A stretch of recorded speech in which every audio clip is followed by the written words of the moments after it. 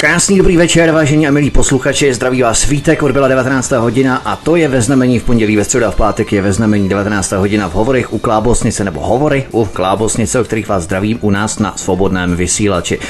My jsme minulý týden přerušili mapování aktivit George Sereše a neb Open Society Summer od dotací ke grantu a neb grandiozní léto s Georgem Serešem, protože jsme tu měli Alenu Vytázkovou, která nám přinesla důležité a zajímavé informace, které jsme museli přezřadit, předřadit tak před uh, standardní vysílání, na které jsme zvyklí, nebo na které jste zvyklí celé léto ohledně George Sereše, protože ty informace, které jsme se tu dozvěděli, byly aktuální, důležité právě pro celkové pochopení situace, které musíme porozumět dnes, zatímco George Sereš je záležitost, která vyžaduje samozřejmě velké studium a velké soustředění nejenom tady z mé strany, ale ze strany z vaší, protože je potřeba, abychom všichni pochopili souvislosti, ale museli jsme tady jednu středu vynechat, což zase není tak nic důležitého. Možná to bude se opakovat to vynechání i příští nebo další středu. Chystáme další pecky, další bomby, hosty eh, u nás na svobodném vysílači.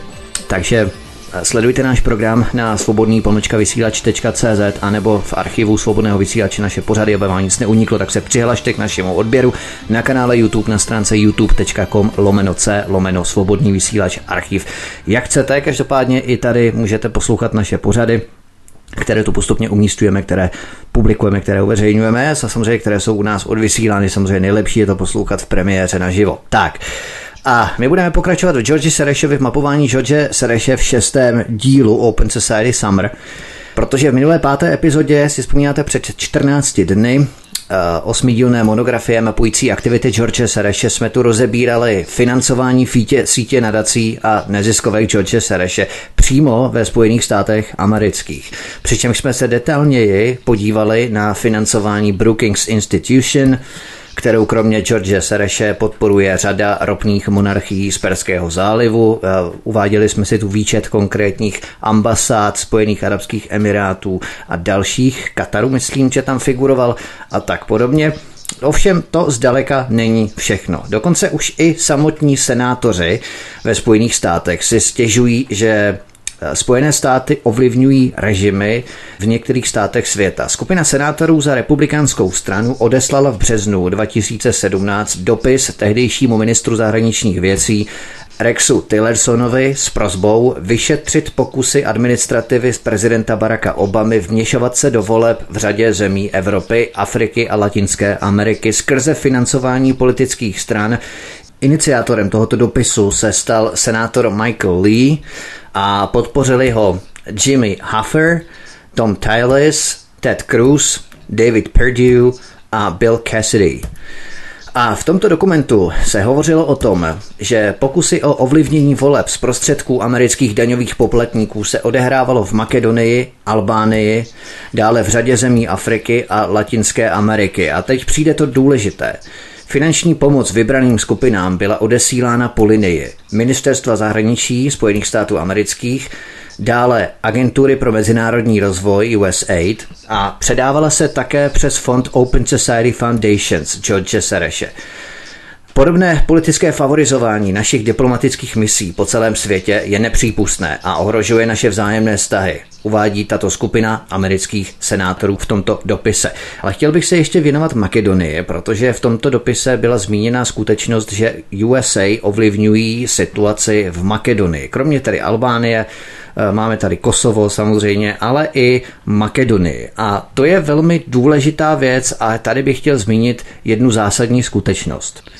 Totiž prokázalo se, a zcela naprosto jednoznačně se prokázalo, že americké tajné služby podporovaly kosovskou osvobozeneckou armádu UČK.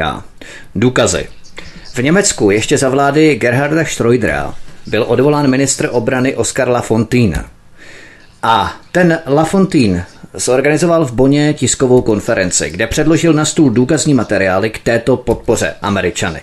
Protože když skončily boje v Kosovu a bylo podepsané příměří, nařízení rezoluce Rady bezpečnosti OSN číslo 1244 konkrétně, tak se v Kosovu vyskytoval německý kontingent, který měl sbírat a schromažďovat zbraně, které jim UČK odevzdávala a chvalme třikrát pověstnou německou důslednost a preciznost, protože si Němci zapisovali všechna identifikační čísla těch zbraní, které jejich kontingent vyzbíraval a Potom ty zbraně Němci odevzdávali Američanům. Jenomže podobné boje UČK rozpoutala o půl roku později v Makedonii. A opět Němci, německý kontingent sbíral od Albánců zbraně. A tady se ukázala velmi zajímavá věc podle bývalého ministra obrany Německé spolkové republiky Oskara Lafontína. Protože zhruba 50% zbraní které Němci vyzbírávali o půl roku později od stejných kosovských Albánců, tak přes 50% zbraní mělo stejná identifikační čísla jako ty zbraně, které Němci vyzbírali od Albánců o půl roku dříve v Kosovu. Ty zbraně, které tehdy Němci odevzdali Američanům. A ty stejné zbraně, 50% těchto zbraní se náhle našlo u Albáncích. Už ne u kosovských, ale makedonských. To je síla, že? Opravdu chtěl bych vidět tváře těch německých důstojníků, když se setkávali s tím, že ty zbraně byly úplně ty též, které oni odevzdali Američanům. Mysleli si tedy, že kosovští Albánci nebudou mít zbraně, že uklidí, jak se, že přispějí k tomu, že tam zavládne mír a při nejmenším ty zbraně, které oni měli, tak už nebudou mít. A jaké bylo asi zděšení na tvářích německých důstojníků, když si uvědomili, že těch 50% zbraní zhruba bylo těch stejných, které předtím půl roku dříve vyzbírali, vyzbírali od kosovských Albánců a náhle se vyskytly opět ve hře ty těch zbraně v rámci podpory Američanů právě kosovských Albánců. To je úplně neskutečné. A kromě toho ministr obrany Lafontaine, německý bývalý ministr obrany Oskar Lafontaine, řekl na té tiskové konferenci v Boně, že eh, německé spojovací služby zjistily, že během toho konfliktu v Kosovu komunikovali albánští teroristé z kosovské osvobozenecké armády UČK přes americkou spojovací vojenskou družici přes americkou spojovací vojenskou družici. Já to řeknu ještě jednou. Jo? Takže toto je, přátelé, podpora Američanů právě kosovským Albáncům. My jsme si tady, já jsem tady říkal eh, v minulém nebo předminulém díle eh, věci kolem Kosova, jakým způsobem se angažuje George Soros v Kosovu, Open Society Foundation, kterou se udavřel v eh, Srbsku, 90 milionů dolarů tam nadspal, z toho samozřejmě získal potom z nerostných bohatství 5 miliard dolarů a tak podobně. To tady nebudeme rozebírat, to už jsem celkem jednoznačně probíral i s důkazními materiály doprovodními, ale tady je vidět skutečně, jakým způsobem, když opravdu někdo důsledně pracuje a precizně pracuje, tak odhalí tyto skutečnosti. A na tohle se velmi rádo zapomíná. To jsou takové ty střípky informací, které si musíme vyhledávat, skládat si všechno dohromady. Potom zjistíme, že samotní američtí senátoři vystupují proti ovlivňování režimu některých světových zemí a otevřeně uvádí, že finanční prostředky jsou také vydělovány skrze fondy Open Society Foundations George Sereše. Tak až zase někdo bude chytat nějaký ten hysterický záchvat o nějaké konspiraci. Musíme mu tlouct o hlavu tvrdá fakta, informace, data, pokud je tedy bude chtít slyšet. Pokud i samotné americké poslance některé rusofobní skupiny považují za fake news a za hoax, bohužel není jim pomoci. Stejně tak jako průkazné ovlivňování Američanů poskytováním zbraní kosovským Albáncům a potom následně půl roku později makedonským Albáncům. Neuvěřitelné. No, Dokonce na stránky Bílého domu byla umístěna petice, kterou do 19. září 2017 podepsalo 102 tisíce lidí. A tato petice měla za cíl uznat George Sereše za teroristu a zabavit jeho veškeré osobní majetky a aktiva v rámci zákona o konfiskaci občanského majetku. Vidíte, i ve Spojených státech by to bylo možné, kdyby něco podobného se mělo odehrát u nás, tak by to byl komunismus, socialismus a bylo by to něco nepředstavitelného, bylo by to ohrožení kapitalismu, ohrožení podnikání a tak dále. Ve Spojených státech tento zákon je možný, v rámci zákona o konfiskaci občanského majetku. Tam není problém. Tady u nás zase byl problém. To víme jasně, pro koho kdo pracuje, pro koho tyto vlády pracují. To se samozřejmě nestalo. Majetek George Serešovi ve Spojených státech zabaven nebyl. V textu té petice se pravilo, že se George Sereš úmyslně a stále snažil o destabilizaci a další násilnické činy proti Spojeným státům a jejich občanům.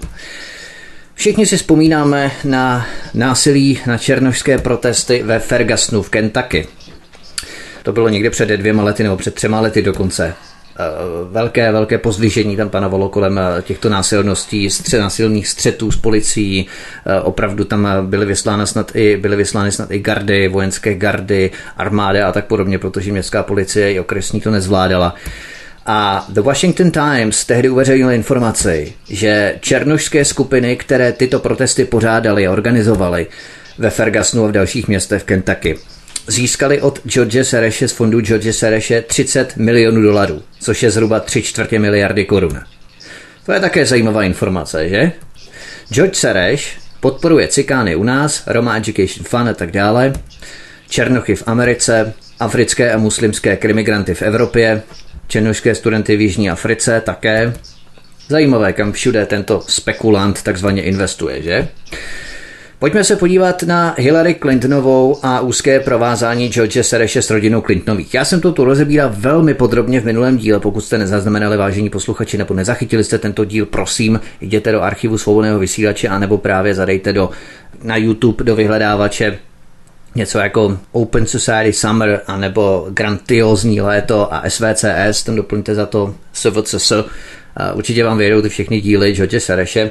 Nicméně, já jsem to rozebíral právě v minulém díle, tak to bude taková spíše reminiscence nebo rekapitulace, trošku malinko bilance toho, co jsem probíral právě v minulém díle, protože jsem se velmi pečlivě věnoval rozkrývání aktivit George Sereše a navázání na různé organizace na Blízkém a Středním východě ve Spojených státech amerických a tak dále. Pokud chcete, opravdu si to pusťte, protože je to velmi zajímavé. Jsem dělal obrovskou práci a trvalo mi poměrně dost dlouho, než jsem prokutal ty eh, jednotlivé databáze, rejstříky a tak podobně. Eh, George Sereš s rodinou Clintonových tam eh, hrál velmi důležitou roli, protože organizace DC Links, což je obdoba Wikileaks, evropská obdoba Wikileaks, tak v Americe to DC Links, zveřejnila více než 2500 dokumentů, různých smluv, Excelových tabulek a mediálních plánů, které jasně prokazují, že se George Sereš snažil ovlivňovat výsledek amerických voleb, kdy se Sereš řadil mezi nejštědřejší dárce prezidentské kampaně Hillary Clintonové.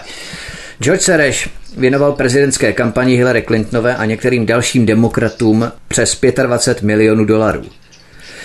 George Sereš dále potom poskytl finanční prostředky nevládní organizaci Media Matters, která byla založena Davidem Brockem v úmyslu zastavit šíření tzv. konzervativní dezinformace v amerických médiích. David Brock byl dlouholetým blízkým spolupracovníkem Hillary Clintonové. Některé ze zveřejněných dokumentů právě této DC Links dále poukazují na to, že Sereš bohatě přispívá think tanku Center for American Progress, Středisko pro americký pokrok nebo Středisko amerického pokroku, které založil jeden z manažerů prezidentské kampaně Clintonové John Podesta. To je velmi známá figura. A stejná organizace Center for American Progress stojí za proklintonovským online médiem thinkprogress.com. Takže pokud budeme pátrat v tom rozvětvení, zjistíme, že Serešovy peníze jsou pumpované do různých proklintnovských organizací, a tak podobně. Informace o jisté formě spolupráce mezi Georgem Serešem a Hillary Clintonovou sahají až do období, kdy Clintonová působila ve funkci ministrině zahraničních věcí Spojených států amerických. Protože jeden z mailů zveřejněný serverem Wikileaks v roce 2011 dokazuje, že Sereš doporučil Clintonové, aby zasáhla do vnitřních záležitostí Albánie. Vidíte, Albánie se také vyskytuje v tom dopise, ve kterém si američtí senátoři stěžují na ovlivňování Spojených států zemí ve světě a režimu zemí ve světě. Makedonie se tam vyskytuje, Albánie se vyskytuje. Oni velmi dobře vidí ti američtí senátoři, jaké státy Spojené státy ovlivňují, nebo jaké režimy ve světě Spojené státy ovlivňují. Makedonie stejně jako Albánie se tam vyskytuje a stejně tady, když mapujeme ty další aktivity, tak tady nacházíme právě další skutečnosti, kdy George Soros doporučil Hillary Clintonové, tehdy jako ministrně zahraničí Spojených států, aby zasáhla právě do vnitřních záležitostí Albánie, což Clintonová samozřejmě učinila. Sereš dále přímo profitoval ze smlouvy o volném obchodu s Panamou podepsaném v roce 2011, o kterou se z velké míry zasadila Hillary Clintonová. Většina ze Serešových aktivit byla součástí skandálu zveřejněného prostředím takzvané Panama Papers. Podepsaná dohoda mezi Spojenými státy a Panamou umožnila mnohým miliardářům Panamu využít jako takzvaný daňový ráj. Další podezření budí společná večeře, která se podle serveru Observer měla uskutečnit mezi Serešovým synem z druhého manželství Alexandrem Serešem a volebním partnerem Hillary Clintonové senátorem Timem Kaneym. Tento Serešův syn z jeho druhého manželství Alexander vlastní od roku 2012 mimochodem společnost The Alexander Sereš Foundation – Toto jsem rozebíral v prvním díle, úplně v tom prvním pilotním díle. Děti, potomci George Sereše, jaké neziskovky vlastní, v podstatě je to impérium navzájem se sebou provázané. Opravdu je to obrovské, obrovský materiál. Nemám bohužel takový lidský potenciál to všechno postihnout, takže jsem to eh, mapoval jenom skutečně tak komu co patří a nezaobíral jsem se dalšími věcmi, které tyto organizace provádějí, projekty, tituly, granty, dotace a tak podobně, kdo tam figuruje všechno. Bohužel opravdu na to nemám kapacity. Pokud mi někdo pomůžete, budu velmi, velmi rád. Když se ale podíváme a schrneme sestavu těchto předních amerických think tanků a institutů, jakými jsou J Street, Center for American Progress, Středisko amerického pokroku tedy a Media Matters, které všechny tři vznikly v podstatě v letech 2003 až 2004, byly součástí obrovského modelu sestavy organizací, které byly rozvíjeny a rozšiřovány především na podporu amerických demokratů. Ty záměry, které jsem demonstroval na jménech a představitelích, kteří tyto organizace založili v minulém díle, David Brock, John Podesta a skupina dalších osob, jednoznačně rýsují vazby s čelními reprezentanty nebo s čelními reprezentacemi americké demokratické strany. A všechny tyto organizace pojí jedna a tatáž skutečnost. Všechny jsou podporované z masivních fondů George Sereše. Ty organizace, které jsou úzce provázány s americkou demokratickou stranou, jsou mohutně podporovány Georgem Serešem. Nehledě k jeho vydatné podpoře samotné Hillary Clintonové, nejen z dob jejího působení jako ministrně zahraničí Spojených států, ale i třeba během amerických prezidentských voleb. Ty vazby, spojitosti, jména firmy, osoby osoby jsem tu narýsoval naprosto jednoznačně, že o vlivu George Sereše na americkou politiku, speciálně na demokratickou stranu, může pochybovat jenom člověk, který buď nemá dostatek informací, je intelektuálně líný si ty informace dohledávat a pokud ho má a stejně to bude popírat, potom jeho diagnoza vyžaduje operaci dutiny lebeční, asi ve větším rozsahu. Na svobodném vysílači CS posloucháte osmidílnou monografii mapující aktivity George Sereše z organizací, které ovlivňují řízení politických procesů po celém světě. Na svobodném vysílači CS posloucháte osmidílnou monografii mapující aktivity George Sereše z organizací, které ovlivňují řízení politických procesů po celém světě světě. Myslím, že Spojeným státům jsem se věnoval až dost. Pojďme se vrátit do Evropy, a to konkrétně do Maďarska, které v odporu a tažení proti Georgi Serešovi tvoří hlavní stěžejní hráz. George Sereš založil a finančně podporuje nadaci Středoevropské univerzity, Center European University, které už věnoval 880 milionů dolarů. Tato Středoevropská univerzita vznikla 3. prosince 1992 tedy necelý měsíc před rozdělením Československa v Maďarsku, vznikla o rok dříve a jejími absolventy jsou třeba Georgi Margelašvili, po Sarkašvilim další prezident v Gruzii, prosím pěkně.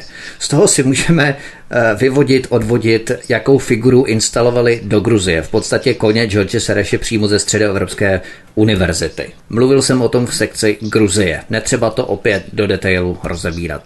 Všechny ty díly si můžeme, můžete vyhledat na, v archivu svobodného vysílače anebo prostřednictvím kanálu YouTube. Středoevropská univerzita je řazená spíše mezi menší univerzity. Aktuálně počet studentů, kteří na univerzitě studují, je 1380.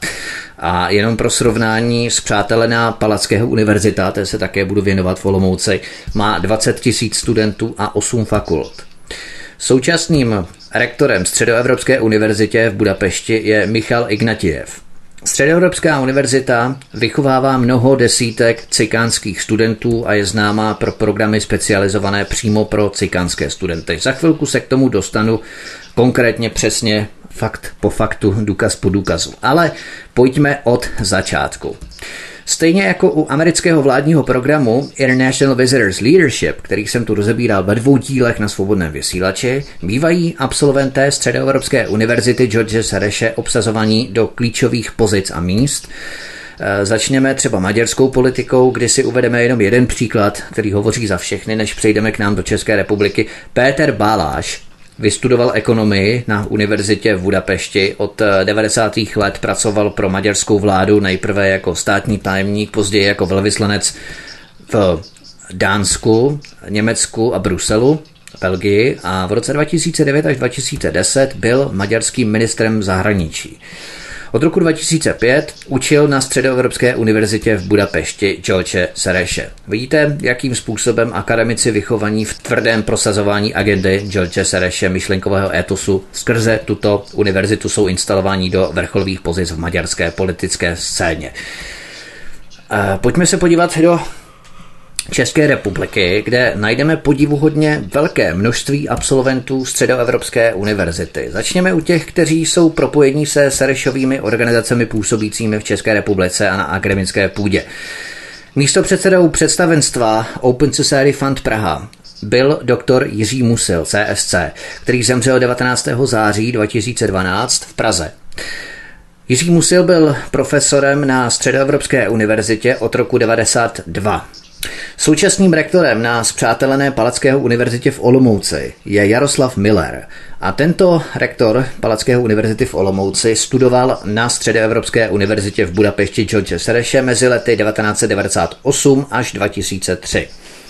Vzpomínáme si třeba na říjen 2016, jsem takovou malinkou, malinkou drobnou odbočku teď. Vzpomínáme si na říjen 2016 kdy eskalovala hysterická kauza kolem udělení ceny Jiřímu Bredimu, a tehdy ve středu 26. října 2016 místo avizované premiéry show Jana Krause na Primě se diváci na tomto kanálu na FTV Prima dočkali reprízy, kterou televize Prima v úvodu doprovodila stručným textovým prohlášením, že show tvůrci nedodali včas. To dramaturgině Krauzovy show Simona Matásková odmítla, ale šlo tvrdou politickou agitku v této show stoupenců pražské kavárny Havlovy soldatesky. Hosty byli například zmíněný Jiří Bredy a jeho synovec, ex-ministr kultury Daniel Herman, známý svým vstřícným postojem nejen k tibetskému Dalajlámovi, ale i k sudetoněmeckému Landsmannschaftu. To jsem tady také probíral, mapování sudetoněmecké lobby a německé lobby Stiftungů různých v České republice ve trojdílném pořadu, dokonce u nás na svobodném vysílači také můžete si to vyhledat na YouTube nebo na archivu našeho svobodného vysílače. A Tady vystoupil v té Krauzově show, vystoupil například Jan Ruml spolu s dalšími havlisty jako Michal Kocáb, Michal Žantovský nebo Táňa Fischerová. A právě rektor Palackého univerzity v Olomouci Jaroslav Miller se na přípravě celé této akce kolem Jiřího Bredyho velmi výrazně podílel a angažoval. No bodeď by ne, když Jaroslav Miller absolvoval stáž v Kanadě, například v Torontu a byl v první polovině roku 2001 a během této stáže se několikrát setkal s Jiřím Bredym na jeho přednáškách o sestře Haně. Takže už chápeme ty souvislosti, proč se rektor Palackého univerzity v Olomouci v kauze Jiřího Bredyho tak výrazně angažoval. Zřejmě je napojen na ty správné kruhy, protože Palackého univerzita v Olomouci je štědře financovaná, byla provedena řada nádherných, náročných rekonstrukcí objektů v rámci této univerzity a prostor univerzity za obrovské balíky peněz. Je to prostě ta vybraná elitní, takzvaně elitní v úvozovkách univerzita v rámci určitého procesu internacionalizace nebo multikulturalizace sítě, páteřní sítě českých univerzit. Ovšem prvním porevolučním rektorem je Josef Jařab, který rovněž absolvoval Středoevropskou univerzitu v Budapešti George Sereše. Josef Jařab byl dokonce rektorem Středoevropské univerzity mezi lety 97 až 99 a Josef Jařáb je zároveň amerikanistou, ale dokonce působil v Senátu České republiky. Je důležité zmínit, že Josef Jařáb, první porevoluční rektor Palackého univerzity v Olomouci, podepsal mezi prvními spolu s Jiřím Drahošem a dalšími výzvu vědců proti strachu a lhostejnosti. To byla taková ta výzva, aby jsme přijímali migranty, aby jsme jich měli rádi, aby jsme z nich neměli strach, i když zařevu Allahu Akbar, nás budou podřezávat jako podsvinčata, tak úplně v pohodě. Jo, takže to byla něco taková ta výzva, jak jsme všichni xenofobní Češi a tak podobně. Tak, pokročme trošku dále. V sobotu 8. dubna 2017, minulý rok, se v Praze konala demonstrace studentů Filozofické fakulty Univerzity Karlovy. A jednou z pořadatelek byla například studentka Sára Vidímová. Nevím, jestli to má něco společného s tím politikem Janem Vidímem z ODSky, ale to by bylo, to by byla hodně velká náhoda. A tito studenti demonstrovali před maďarskou ambasádou za zachování Středoevropské univerzity v Budapešti. protože reflektovali, jak tomu se později taky dostanu, na kroky maďarské vlády směrující ke zrušení této univerzity anebo k dodržování nových pravidel. K těm pravidlům se také dostanu. Mám to tady všechno pěkně rozebrané.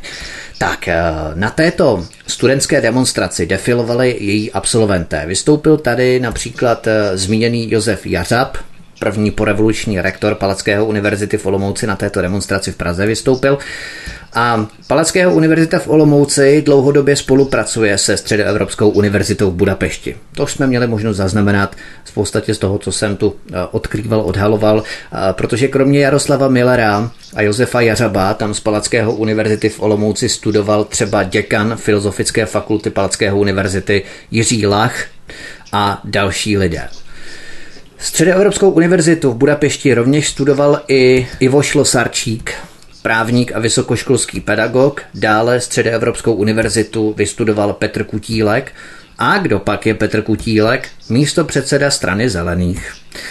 Inženýr Jan Mládek, CSC, je ředitelem Českého institutu aplikované ekonomie a Jan Mládek spolupracoval mezi lety 1993 až 1998 se Středoevropskou univerzitou. Nejde o, prosím pěkně, Jana Mládka, eh, bývalého ministra průmyslu a obchodu za ČSSD, to je jiný Jan Mládek, ano. Dále tady, když mapuju ty lidi, kteří studovali Středoevropskou univerzitu, tak eh, jsou to přesně ti lidé z neziskovek, protože dále Středoevropskou univerzitu vystudovala aktivistka Lubica Kobová, která studovala na katedře genderových studií na humanitních fakultě Univerzity Karlovy v Praze a nyní působí v genderové expertní komoře České republiky. Dále Marek Antoš v Štíhlách, Krč Praha 4, je členem správní rady Open Society Fund Praha. Marek Antoš také vede vydavatelskou společnost Internet Info a tato Internet Info vydává servery jako Lupa.cz, Měšec.cz nebo Slunečnice.cz. No a kromě jiného Marek Antoš vystudoval srovnávací ústavní právo na Středoevropské univerzitě v Budapešti. Druhým společníkem v této firmě Internet Info SRO je Jan Sinkanič, publicista a novinář, který píše pro časopis Respekt vlastněný společností Ekonomia Zdeňka Bakaly. Dále Radka Podílová působí jako projektová koordinátorka v Open Society Fund Praha, ale zároveň vystudovala veřejnou zprávu se zaměřením na globální média a komunikaci na Středoevropské univerzitě v Budapešti Čoče Sereše. Hedvika Janečková působí v neziskovce Multikulturní centrum Praha a zároveň vystudovala kritická genderová studia na Středoevropské univerzitě v Budapešti, ale také vystudovala politologii a evropská studia na Univerzitě Palackého v Olomouci. A kdybyste si třeba troufl domnívat se, že obor kritická genderová studia je jaksi zbytečný, nedůležitý, pro život ho vůbec nevyužijete, tak se určitě mílíte, protože George Sereš jistě velmi dobře a zatraceně dobře ví, proč dané obory zakládat. A potom nás mohou tito lidé pucovat, šikanovat, že nekriticky genderově myslíme a musí čerpat hodně dotací a grantů v neziskovkách na to, aby nám naše staré konzervativní genderové myšlení upravili na to správné kriticky genderově myslící myšlení.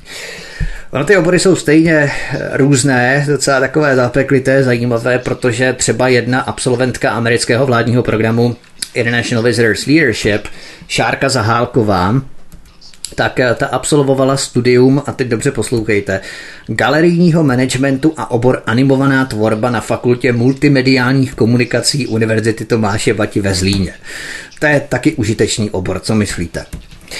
Pojďme ale k cikánské lobby na Středoevropské univerzitě. Například v akademickém roce 2014-2015 studovalo více než 50 cikánů jak na magisterských oborech, tak i v rámci programů pro začlenění cikánů. Jednalo se o dva následující programy. Program pro přípravu romských absolventů bakalářského studia, Roma Graduate Preparation Program a program anglického jazyka pro Romy, Roma English Language Program. Pokud vám třeba není jasné, milí posluchači, proč se cikáni potřebují učit anglicky jinak než bílá populace, majoritní populace, neptejte se mě, já to také netuším. Ten první program pro přípravu romských absolventů bakalářského studia je devítiměsíční program, nebo byl devítiměsíční program, který, jak je uvedeno přímo na stránce Romea.cz, připravuje nadějné mladé cikány k přijímacím zkouškám na magisterské programy v anglickém jazyce na Středoevropské univerzitě a na jiné uznávané univerzity. Tak, budeme mít elitní cikánské kádry, to bude super, to bude skvělé, určitě se nám bude dařit. Druhý cikánský program je zaměřený na zlepšení znalostí angličtiny účastníků tak, aby mohli úspěšně začít svou kariéru v různých místních i mezinárodních organizacích. A navíc plní účel přípravy silných mladých Romů, to tady přímo takto píšou, silných mladých Romů, pro vedoucí pozice z hlediska získávání dovedností, znalostí, hrdosti a závazku pro zlepšení života cikánských komunit.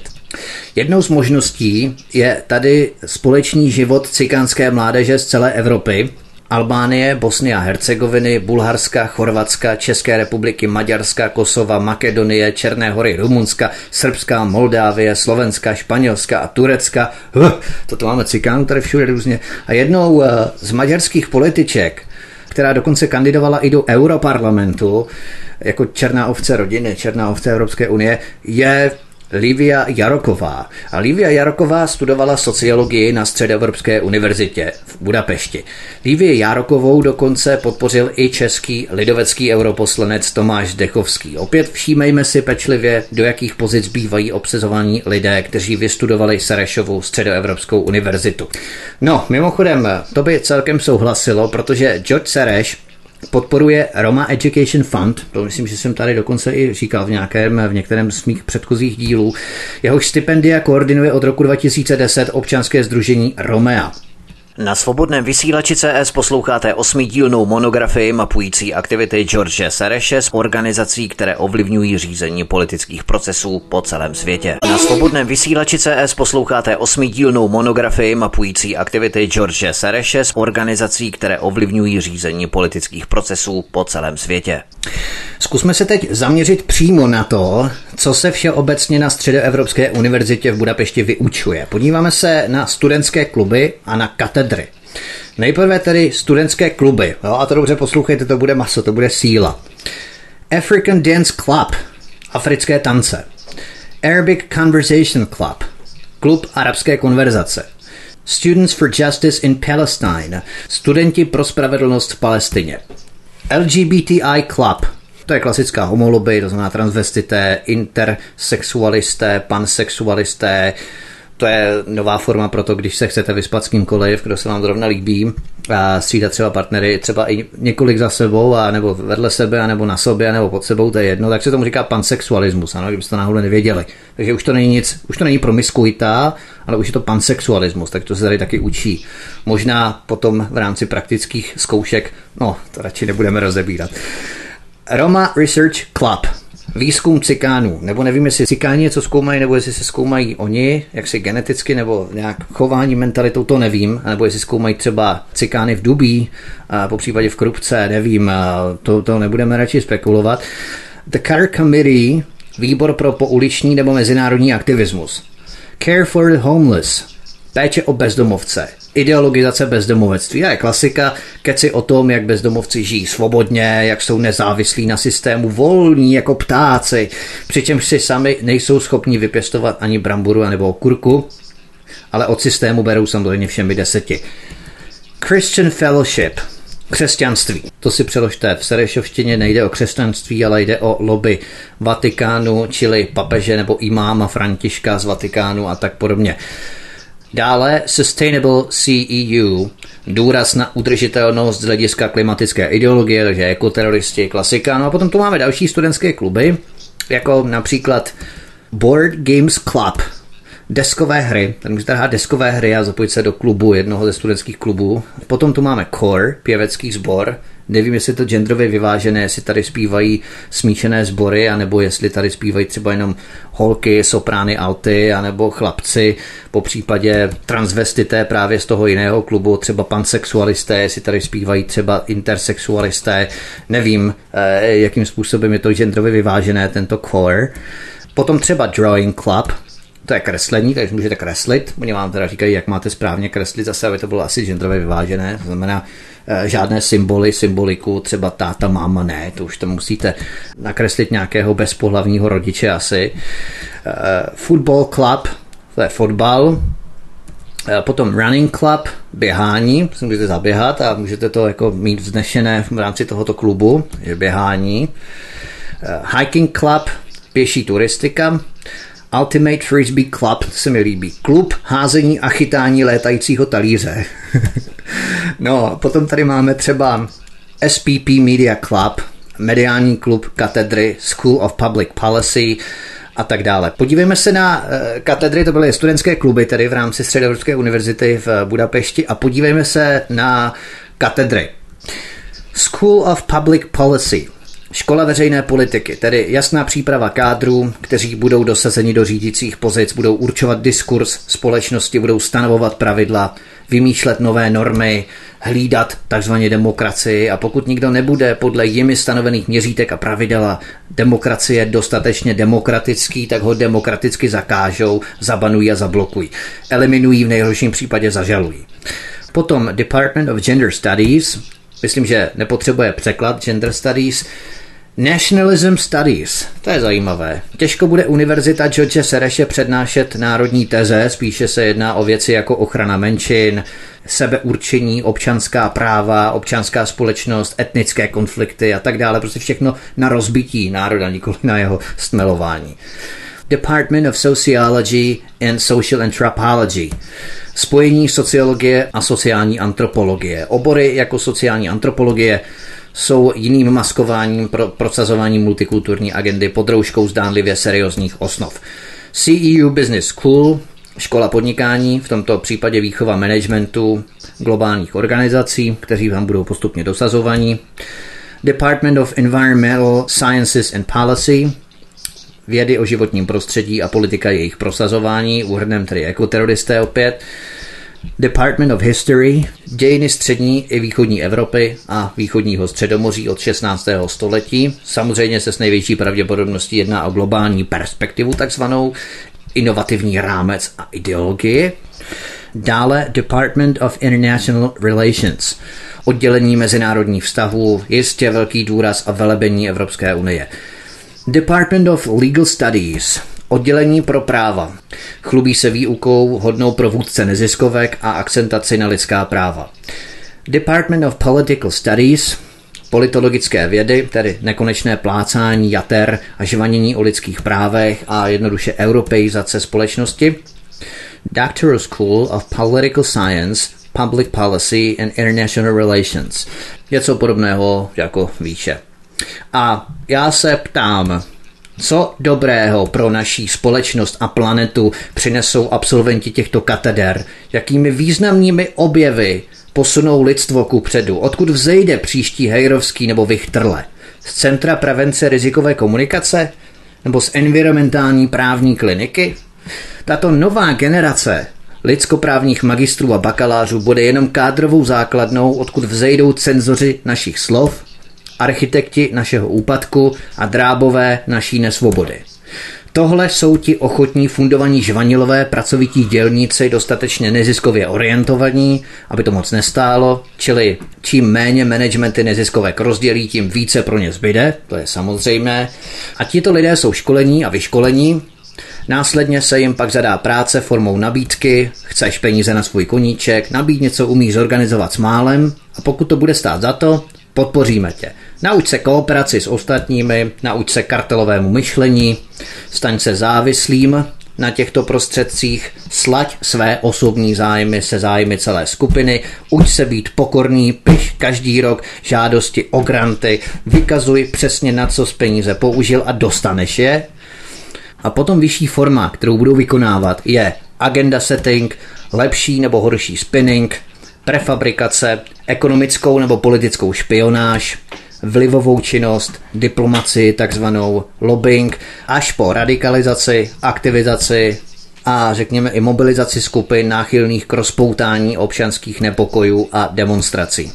To jsou různé fáze nástrojů a arzenálů, řekněme, technické, eh, propracované architektonické postupy, kterými politické neziskovky vybrušují své techniky. Tohle je ta novodobá připravovaná elita, která se už od svých studií připravuje na práci v neziskovém sektoru. Oni nechtějí nic vyrábět, oni nechtějí nic vymýšlet, ani snad nikoho léčit. Jejich jediným cílem je propagovat utopické myšlenky multikulturalismu, feminismu, politické korektnosti, genderismu, neoliberalismu, globalismu, ekoterorismu a dalších témat. A to ať už si to společnost přeje nebo nepřeje. Oni přece jsou ta elita a naším úkolem by podle nich mělo být držet hubu a platit. Pokud bychom se náhodou začali zajímat o to, kam putují naše peníze, na co jsou používány, na jaké projekty se hradí, tak tato elita plná pravdy a lásky, začne hystericky zběsile nenávistně ržát, řvát a řičet, jak stát potlačuje svobody občanské společnosti nebo další podobné žvásty. Jenom prostě držet hubu a platit. To je svoboda a demokracie, kterou nám tato elita nastoluje a diktuje. Základním problémem sociálního inženýrství, když se nad tím zamyslíme trošku, to mám takovou malou odbočku, spočívá v přebujelé píše, těchto skupin, že si tato skupina osobuje právo řešit něco, co vidí jako problém, přičemž se oni sami nepokoušejí zamýšlet nad tím, jestli to ti, kterých se to týká, vůbec chtějí a jestli to potřebují. Oni v podstatě nemají flagrantní úctu ke druhým, jak rádoby vznešeně hlásají, protože oni sami sebe pasují do role lékařů, kteří světu chtějí ordinovat jejich vlastní medicínu, přičemž se nikoho neptají, jestli je ten svět nemocný ale ve své přebujelé píše chtějí násilně z pozice síly a moci vnucovat ostatním vlastní vizi uspořádání světa. Takže Tady vidíme, že je velmi snadné se stát levicovým neomarxistou. Stačí prostě mít ten sladce mocný pocit, že náležím nebo přísluším k vyvolené kastě, která bude ostatním vnucovat multikulturalismus, poučovat je genderismem, homosexualismem a tak dále. To je velmi snadné.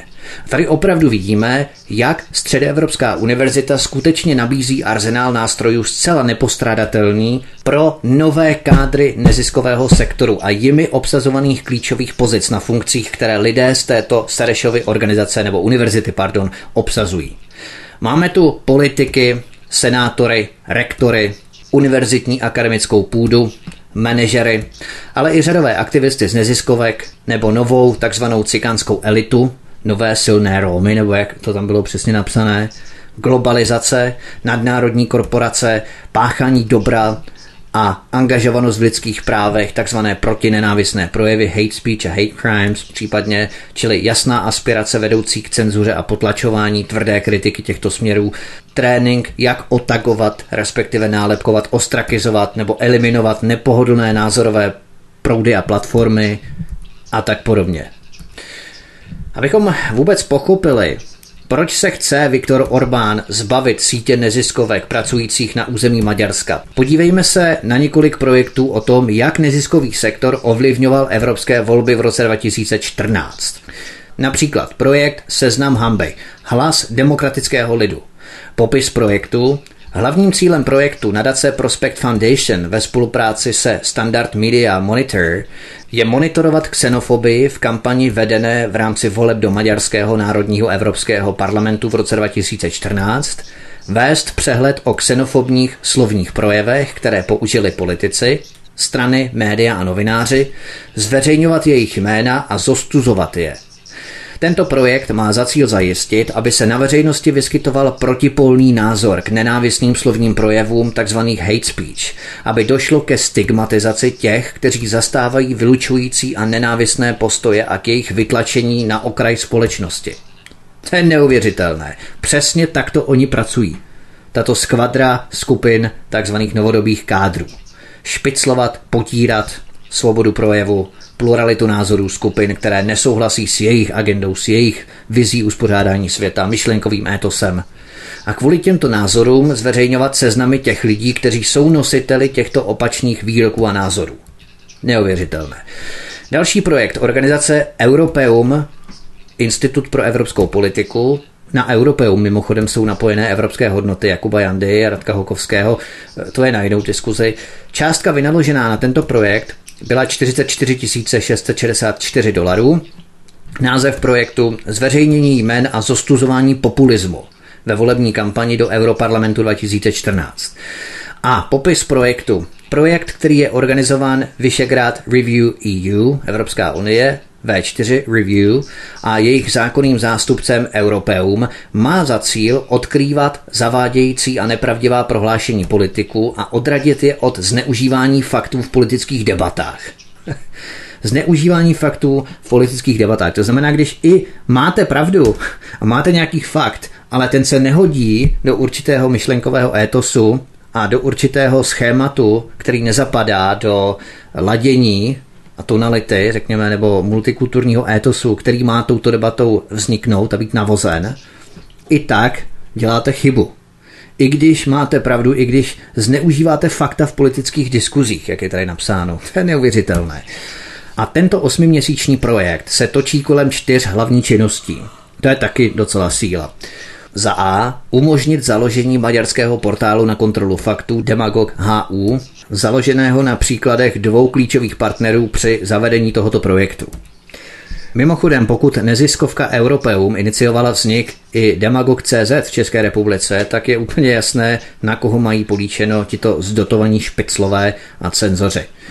Za B. Monitorování volebních projevů před a během voleb do Europarlamentu 2014.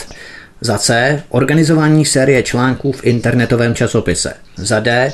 Organizování čtyř veřejných debat v menších městech Šopron, Peč, Žilina a Brno k oslovení znevýhodněných skupin mladých lidí. To znamená, že i v Brně se konala diskuze, která byla sponzorovaná v rámci projektu George Sereše prostřednictvím jeho fondu v Maďarsku. Takže toto jsou jenom dva projekty, kterými se neziskový sektor v Maďarsku snažil ovlivňovat volby v roce 2014, eurovolby. Není proto divu, že jak Viktor Orbán, tak i Sebastian Kurz v Rakousku, k němu se za chvilku dostanu, vypráskal George Sereše z Maďarska, až se mu z bankovního konta prášilo.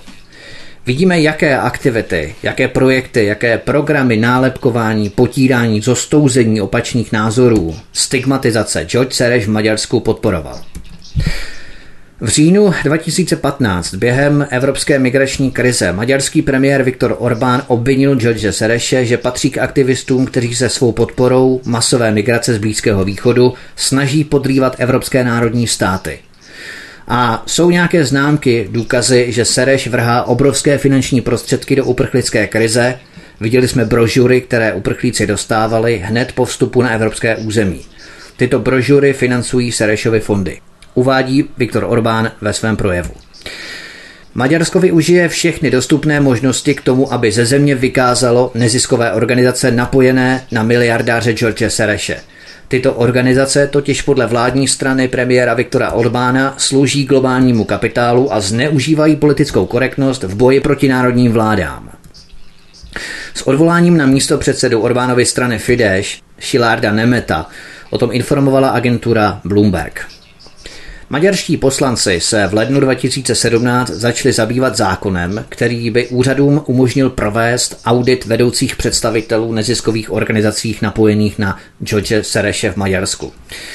Bavíme se tu o té proslulé středoevropské univerzitě George Sereše stále, ale když se podíváme na tu kritickou pasáž ohledně nového zákona nebo novely zákona o vysokých školách v Maďarsku z pera strany Viktora Orbána, strany Fidesz, tak ta kritická pasáž zní, a teď dobře poslouchejte, Vysoké školy nebo univerzity, jejímž zakladatelem je instituce nesídlící v Evropské unii, v případě Středoevropské univerzity je to stát New York, musí být také vysokou školou nebo univerzitou akreditovanou ve státě, kde sídlí zakladatel.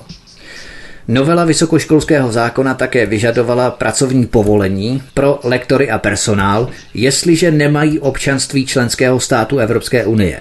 No a jako poslední pasáž této novely zákona o vysokých školách v Maďarsku, návrh této změny zákona nedovoluje maďarskému právnímu subjektu zahraniční univerzity vydávat neevropské diplomy. Tady naprosto jasně spatřujeme, jakou činnost Středoevropská univerzita George Sereše bude provádět v Berlíně, kam se bude stěhovat nebo kam se stěhuje. Němcům absolutně nevadí, že Středoevropská univerzita není akreditovaná ve státě, kde sídlí zakladatel. že lektoři a personál této univerzity, Středoevropské univerzity, nebudou muset mít pracovní povolení, pokud nemají občanství členského státu Evropské unie, a že Středoevropská univerzita bude udělovat neevropské diplomy. To jsou tři zásadní věci, které Středoevropská univerzita porušovala a bude porušovat v Berlíně. A to Němcům nevadí, proto se tam také stěhuje. Vzpomínáme si na duben 2017, kdy Andrej Babiš, tehdejší ministr financí České republiky, aktuální premiér, vyjadřoval své přání, aby se Středoevropská univerzita z Budapeště přemístila právě z Budapeště do Prahy, do České republiky. Je jenom krutou hříčkou osudu, když neziskovky spadající do sítě skupin financovaných Serešovými nadacemi a fondy za necelý rok uskutečňovaly obří celorepublikové protesty právě proti Andreji Babišovi.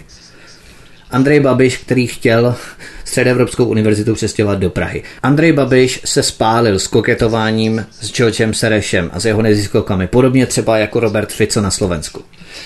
Když ale půjdeme ještě dále, uhnutí ano, tak zjistíme třeba zajímavou věc. Pražská primátorka Adriana Krnáčová z hnutí ANO je bývalou zaměstnankyní George Sereše. Adriana Krnáčová pracovala v Sereš Center for Contemporary Arts v Bratislavě na Slovensku jako ředitelka. Dále europoslankyně Martina Dlabajová za hnutí ANO je přímo uvedená v seznamu europoslanců, které Sereš označuje za své spojence. Už jsem o tom mluvil v sekci Česká republika. A teď chtěl Andrej Babiš otevřeně oficiálně Středoevropskou univerzitu z Budapeště přesunout přímo do Prahy. Takže instaluje Andrej Babiš osoby s vazbou na instituty, nadace a neziskovky George Sereše do struktur vlády a krajů. Neziskový sektor, přímo či nepřímo napojený na síť neziskovek George Sereše, je hluboce zakořeněným a vrostlým do vládních struktur v nejvyšších patrech v České republice. Pokud toto tvrdím, mám proto tvrdá data v podobě spousty jmen neziskovek, kde dané osoby pracují a samozřejmě jmen těchto osob a státních funkcí, ve kterých stejné osoby pracují taktéž. Tento seznam si ponechám na samotný závěr, konec tohoto pořadu. Byl konec konců zveřejněn na Aeronetu, jsme dělali z VK, ale to nevadí. Já si myslím, že opakování je matka moudrosti a je důležité to pořád zmiňovat pořád dokola. Nicméně jen takovou uchutnávku. Neziskovka Otevřená společnost, což je jakási odnož Open Society Fund Praha, tady v České republice. Oldřich Kužílek je členem Rady pro lidská práva z téže neziskovky Otevřená společnost. Tomáš Pavlas je členem Rady vlády pro rovnost žen a mužů, ředitelem neziskovky Open Society Fund Praha. Robert Baš je členem Rady vlády pro nestátní neziskové organizace a z téže neziskovky Open Society Fund Praha Olga Žáková například je členkou Rady vlády pro rovnost žen a mužů a tak to bychom mohli pokračovat dál a dál. Nicméně počkejme si nakonec, přinesu opravdu seznam, exkluzivně seznam jmen osob státními funkcemi, které zastávají a vše spárované s neziskovkami, pro které tito lidé pracují. Ale vraťme se ke Středoevropské univerzitě. Tato středoevropská univerzita připravuje řídící kádry buď pro inscenaci a režírování tzv. barevných revolucí, architekturu a tak podobně jsem tu také probídal v rámci Velké Británie a dále, propojení těchto uh, organizací, kterých je George Sereš architektem, nebo pro neziskový sektor s cílem kormidlovat a ovlivňovat působit na veřejné mínění určitým směrem prostřednictvím exponovaných osob nebo osobností. V podstatě absolventi této univerzity končí v diplomaci v rámci vlád Evropské unie nebo v bankách, korporacích nebo v evropských médiích, institucích a tak podobně. Tady můžeme vidět opravdu, jakým způsobem si globalisté v podobě univerzit, ať jde o Hamburg, ať jde o Londýn, ať jde o právě Středoevropskou univerzitu, Vychovávají vlastní řídící kádry, kteří bývají dosazováni do klíčových pozic v důležitých vlivových organizacích nebo neziskových nadacích, ať už korporace, ať už banky, anebo vládní struktury, anebo třeba média. A jak těžké je rozklíčovat, rozšifrovat tyto sociálně-ekonomické a historické vazby, různé souvislosti. Člověk si musí skutečně dávat velký, obrovský pozor při sestavování faktů, protože i tak se pohybujeme na hraně konspirací, proto musíme dávat velký pozor, abychom nesklouzli už za tu samotnou čáru, za samotnou linii konspirace, ale abychom měli vše doložené tvrdě jmény. Navíc aktuálně Patrik Gaspard, prezident Serešovy Open Society Foundations prohlásil v listu Die Presse, v rakouském listu, že neziskovka a univerzita opouští Budapešť a stěhuje se do jí příznivějšího prostředí do německého Berlína. Mimochodem, rakouský prezident který byl horko těžko zvolen po druhé ve volbách, kdy první volby byly prohlášeny za neplatné, tak aktuální rakouský prezident Alexander van der Bellen vyjádřil pro Profil Magazine podporu George Serešovi, imigraci a vyzval k blížší spolupráci s Francií. Nicméně 21. října 2017 přišla z Rakouska ledová sprcha ve směru k Serešově Open Society Foundations. Nový rakouský lidovecký premiér Sebastian Kurz dal Georgi Serešovi 28 dní a pokud do té doby neuzavře své zastoupení v Rakousku, bude čelit soudním žalobám. Tato výpověď přišla potom, co vyšlo najevo, že George Sereš svému fondu v Rakousku věnoval 18 miliard dolarů. Mimochodem, taková drobná odbočka malinko, když si to vsadíme do časové souvislosti a mezinárodního kontextu, kdy si George Sereš otevřel účet u Unicredit Bank v České republice, do kterého napumpoval rovněž několik miliard dolarů, a to se stalo v září 2017 a v polovině října převedl 18 miliard dolarů do sousedního Rakouska. A potom setkání slovenských představitelů 21. září 2017 s Georgem Serešem ve Spojených státech, následně pokus o Majdan na Slovenskou březnu 2018, tedy o čtyři měsíce později Marcello Fabiani, Serešova pravá ruka, který přijel na Slovensko. Vychází nám z toho celkem jasný obraz, jakým způsobem George Sereš operuje ve střední Evropě. Rakouský kancléř Sebastian Kurz pronesl – Přízrak Sereše je největší výzvou, které v roce 2017 čelí lidstvo na celém světě. Je to ukázková chobotnice, upír přisátý na tváři lidstva, který neúnavně vysává krev ze všeho, co páchne penězi. A těmito penězi korumpuje politiky, novináře a veřejný sektor a snaží se předělat svět podle svých představ. To jsou přesná slova rakouského kancléře Sebastiana Kurce. Zeptejme se sami sebe, Zaznamenali jsme tento výrok v korporátních médiích někde v České republice? Samozřejmě, že ne, já jsem to nikde neslyšel. A tato média mají tu drzost sami sebe nazývat nezávislými. Když výroky, které se jaksi nehodí do celkového rozložení a schématu zpravodajství tendenčně zaměřeného, tak se v jednom kuse kydá špína na Maďarsko, ale už se nedodává, že i Rakousko zaujalo nesměřitelný tvrdý postoj vůči Serešově nadaci. Mimochodem také v Turecku byla uzavřena kancelář v zastoupení Open Society Foundations a zatčení lidé, kteří jsou s Georgem Serešem spojovaní, například člen poradní rady Open Society Institute v Turecku a současně šéf nadace pro ekonomická a sociální studia Nafis Shampaker, který je absolventem Kolumbijské univerzity, dále třeba publicistka, profesorka Bilkenské univerzity v Turecku, Elizabeth S. Dalga, která například vydala knihy o sekularismu a populárním islámu v moderním Turecku. Dále třeba je to žurnalista ultraliberálních novin Radical Ebgian, a mnoho dalších lidí spojených s Georgem Serešem bylo v Turecku zatčeno.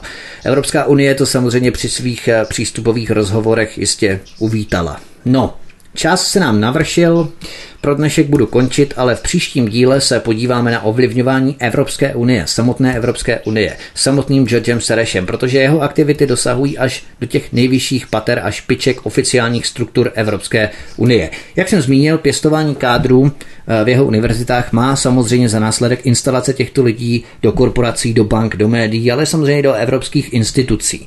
A tito lidé mohou samozřejmě prosazovat agendu a myšlenkový étos, eh, multikulturní ukotvení neoliberalismu, globalizace a tak podobně, i v rámci instalace těchto figur do jednotlivých institucí.